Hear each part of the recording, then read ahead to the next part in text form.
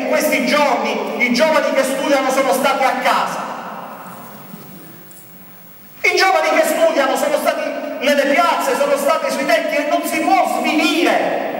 un ragionamento o un invito al ragionamento. Perché poi alla fine questa legge, che non è una cattiva legge in assoluto, ma che poteva essere ulteriormente se ci fosse stato un attimo di riflessione e di ponderazione, è diventata semplicemente il terreno di uno scontro politico che ha allontanato il tema dell'attenzione dal contenuto della legge e lo ha portato invece a essere un casus belli, un motivo di scontro e di incontro tra maggioranze e pseudomaggioranze, tra opposizioni e potenziali opposizioni che potrebbero diventare maggioranze, al pari che fosse stata una legge che riguardava le banane o l'importazione delle banane. Questo è il motivo per il quale anche questa università unanimemente nei suoi organi di governo e di rappresentanza ha ritenuto di esprimere una considerazione critica. Diceva Giustino Fortunato, l'Italia sarà quel che il mezzogiorno d'Italia sarà. Ma questo in questo momento sembra che pochi lo comprendano. Non possiamo assolverci e non potete assolverci come classe dirigente. Perché la classe dirigente di questo Paese, ma in particolare la classe dirigente di questo mezzogiorno d'Italia, non è sempre stata una classe dirigente all'altezza della tutela dell'interesse del bene comune e collettivo.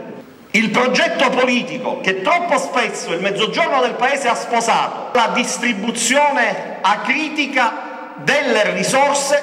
e al loro consumo incrementale senza progetti di sviluppo e senza prospettive poi di determinare incremento della ricchezza e miglioramento della distribuzione della ricchezza. Ora è chiaro che l'università può formare una classe dirigente, ma una classe dirigente ha un'anima fondamentalmente, oltre che una cultura. Non credo che gli studenti dire, che studiano sono cosa altra rispetto agli studenti che in questi giorni hanno fatto sentire la propria voce, anzi mi pare che questo movimento sta nascendo sotto i migliori auspici e io vi parlo dell'esperienza della mia generazione. Eh, le assemblee che gestivano e la piazza la tenevano ancora quelli che studiavano di più perché in un certo senso erano nelle condizioni di poter chiedere pretendendo risposte puntuali alle questioni che essi sollevavano. Questo Paese si trova davanti a una preoccupante patologia che io definirei di apatia democratica. Ecco, io credo che rispetto a questa fuga verso l'apatia democratica la riforma dell'università ha aperto tali e tante di quelle questioni che non hanno soltanto a che vedere con la materia trattata, ma che spesso utilizzano questa materia come pretesto per parlare della condizione giovanile, per parlare del mercato del lavoro, per parlare delle risposte che non arrivano con riferimento a un patto generazionale che appare sempre più